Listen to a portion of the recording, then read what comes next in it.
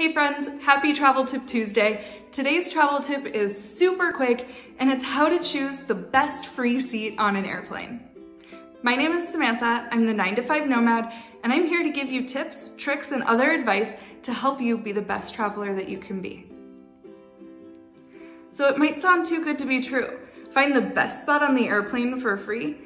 Well, the best seat on an airplane is actually over the wing.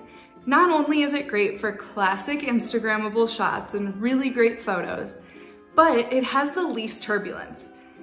The wing of the airplane experiences the least turbulence because it's the most stable because that's where the wings are. So it provides the smoothest ride in the whole jet. So if you're somebody that really hates turbulence or gets really anxious while flying, make sure that you choose a seat as close to the wing as possible and you'll have a smooth ride. Thank you so much for watching and make sure to subscribe for other travel tips in the future.